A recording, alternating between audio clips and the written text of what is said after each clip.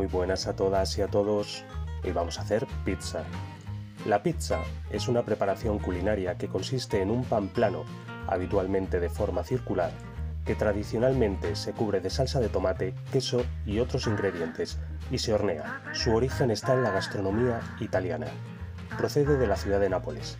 Las primeras referencias a hornos de pizza datan del siglo XVII, pero panes planos parecidos a la pizza eran consumidos por egipcios, persas, griegos y romanos.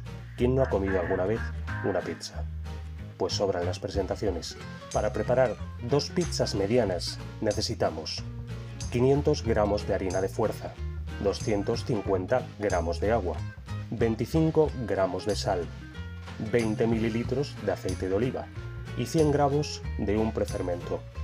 En este caso yo voy a utilizar exactamente el mismo prefermento que usé para la focaccia una viga que he seguido alimentando cada dos días con 50 gramos de harina y 25 gramos de agua. Cada vez que la alimentaba, la metía en la nevera.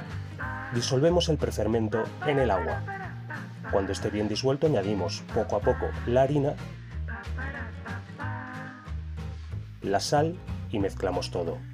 Esta masa sí necesita un buen amasado porque al tener una baja hidratación es más difícil que se integren todos los ingredientes. Cuando esté todo bien mezclado y sea una masa uniforme, formamos una bola y dejamos reposar aproximadamente una hora. Pasada la hora vamos a añadir el aceite poco a poco. El motivo de añadirlo aquí y no antes es que un elemento graso puede hacer que nuestra levadura no fermente correctamente la masa. Por eso lo añadimos cuando ésta ya ha empezado a actuar.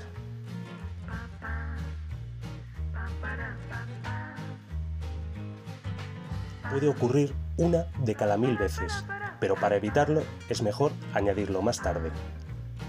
Cuando esté bien integrado, formamos una bola y dejamos que duplique su volumen a temperatura ambiente, sin forzarla. Es una masa que fermenta muy lentamente, así que paciencia.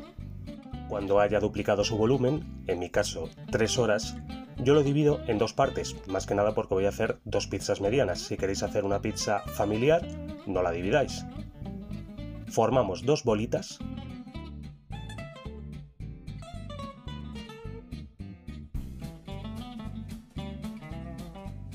los meto en un tupper y los llevo a la nevera un mínimo de 24 horas. Podéis tenerla hasta 72 horas. A más fermentación, mejor sabor.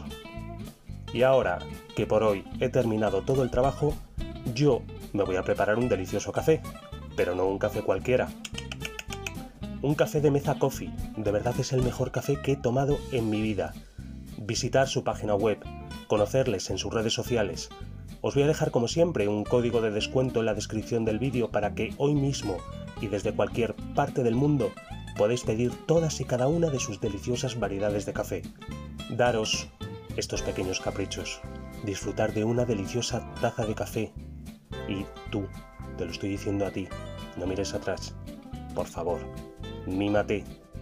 Cuando hayan pasado de 24 a 72 horas de fermentación en frío, sacamos la masa y vamos a darle forma. La manera más sencilla es enharinar bien la bandeja donde la vayáis a hornear y con la punta de los dedos ir aplastándola y darle la forma redonda, aunque podéis hacerla rectangular, cuadrada, como mejor queráis. La dejamos reposar aproximadamente una hora y la vamos a poner cosas encima.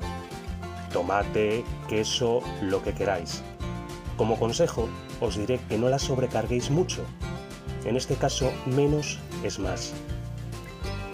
Y mientras voy haciendo esto, quiero daros las gracias a todos de verdad por el apoyo que me dais.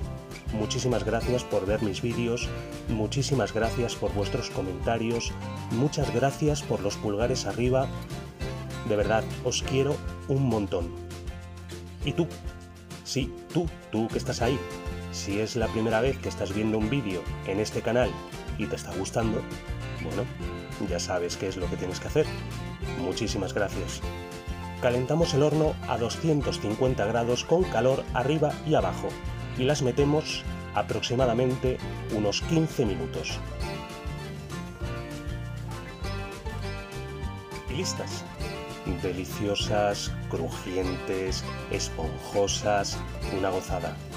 Si hacéis la pizza en casa vais a notar realmente la diferencia. Queda espectacular. Vamos, que vais a tener ahí a las tortugas ninja picando el timbre siempre que las preparéis.